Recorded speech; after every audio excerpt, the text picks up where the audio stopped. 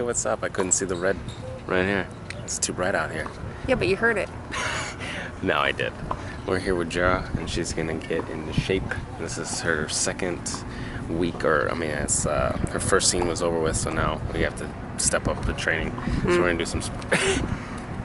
What was that? Mm. we're gonna step up the training. We'll do some sprints and some calisthenics today. All right, see you mm. afterwards.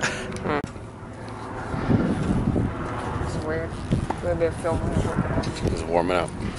Warming up. Oh, he's gonna knock over his water. Our post workout, how do you feel, Joe? My legs hurt. Legs hurt because I work our legs a lot. We did some sprints, right? He's trying to make me all beefy. And then some squats, right? Too many squats. Yeah, and then what we got here? We got some egg, one egg, four ounces, chicken four ounces, potatoes, and some green spinach. How you like your diet? It's alright. Yeah? Except for spinach. Yeah, spinach. Can I just spinach. eat it next time? Yeah. Yeah, I thought it'd be easier on you, but yes, you can eat it next time. It's gross of juice. Okay. It's better work, Weaver. This'll work. Better work, This'll Weaver. work. Alright. We'll see y'all in the next video!